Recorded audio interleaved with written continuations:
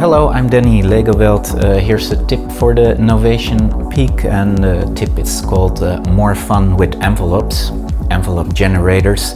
Uh, the Novation Peak has a lot of uh, envelope generators. Well, it has three, uh, one for the amp and uh, two mod envelopes, but you can assign these three to anything using the modulation matrix.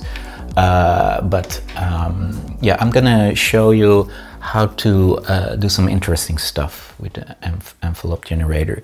Um, first of all, I'm gonna show uh, a negative envelope here um, uh, assigned to the filter.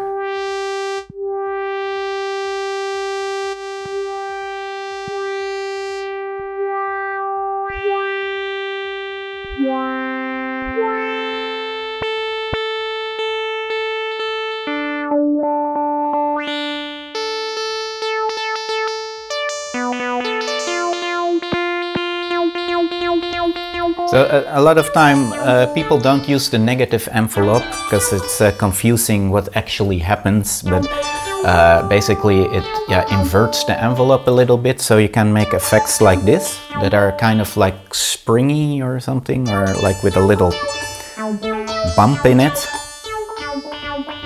See if I put it on positive now it's more like usual like more acidic but if I put it on negative get like a weird thing. But the cool thing about the peak is that uh, you can assign uh, both envelope uh, generators on the same thing. So I can put it on the filter, uh, the second envelope on the filter too.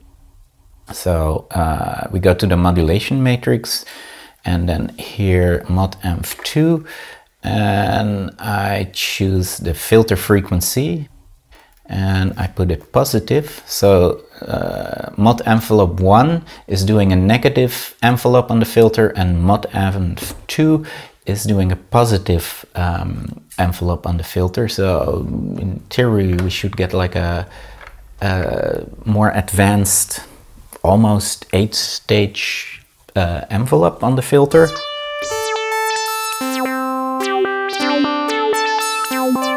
See they're kind of both fighting to, to control the filter, but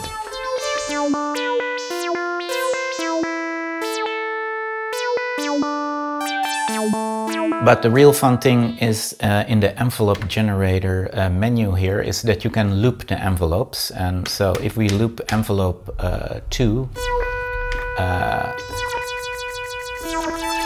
it loops the envelope really fast and we can change the hold time here and make it a little bit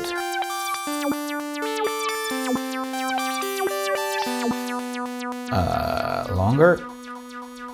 And uh, if we put the repeat on one, it will only repeat it uh, one more time and then it, it, you can really make an extended long envelope uh, because then uh, the first um, envelope generator is overridden by the second one, if we program it right, of course, but then...